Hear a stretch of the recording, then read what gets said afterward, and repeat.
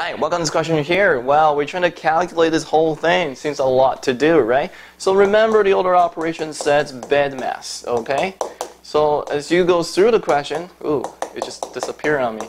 Make sure you check, do you have the bracket, do you have the exponent, do you have division, stuff like that. So as I look across, I see there's a bracket. So let's tackle the bracket first.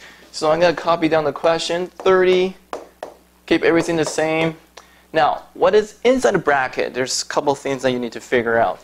I got 6 power 3 minus 2 to the power 3. Now, don't be tempting to add exponents or subtract exponents. You have to double check.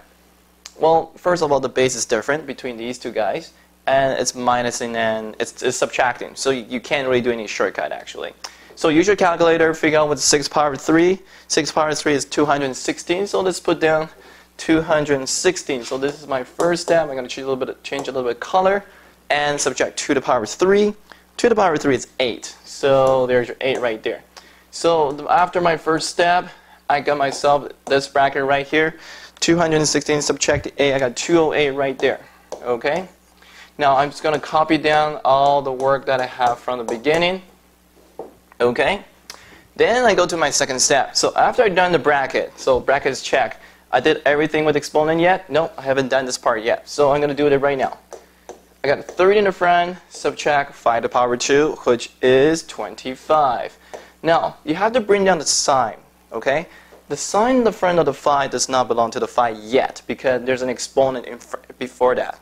So 5 has to be raised to the power 2, which is 25. And you, you just have to bring down, bring down the, the symbol in front of that, which is still negative, okay? So it, this 5 to the power 2 here doesn't change into a positive 25 here. So just bring down the sign. See, the way I do it is I bring down the signs, and there's our 208 still. Okay? Here's my 208.